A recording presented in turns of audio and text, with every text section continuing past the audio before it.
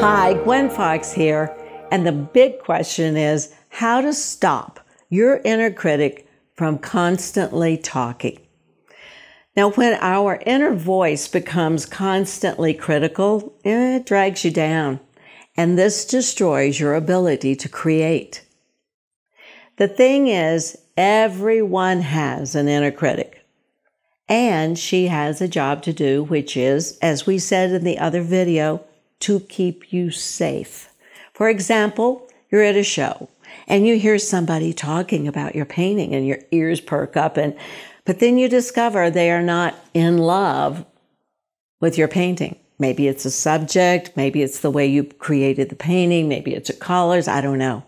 But your inner critic will jump on this as fast as it can because she knows when you are most vulnerable and she takes advantage of the situation. And you probably will hear her say something such as, Oh dear, they have found you out and they have found out that you are a fraud. Have you ever had that thought? I have. But remember, that's your inner critic lot talking loud and clear. And there are several ways to silence your critic, and one way is to talk back. Get angry. Yell at her. Say something like, Go away, stop talking, I don't want to hear you anymore. And if you're painting at this time, which I'm sure you probably are, because that's when she's most active, then get up and maybe go look at an art book, flip through the pages, because guess what? This shifts your attention and it actually confuses the critic. Interesting, isn't it?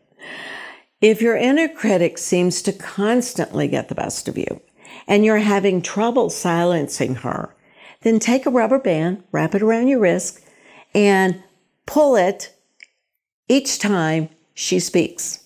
Now, the sharp stinging sens- sensation will break the chain of negative thoughts.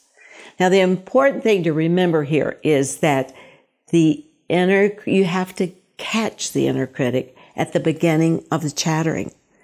Now, because this is a new habit you are cultivating, remember it takes 21 days to change a habit. You will then go from listening to her to ignoring her and then silencing her. Now, in the next video, I will share with you the method that I use to silence my inner critic and the name I have given her. Until then, create brilliantly.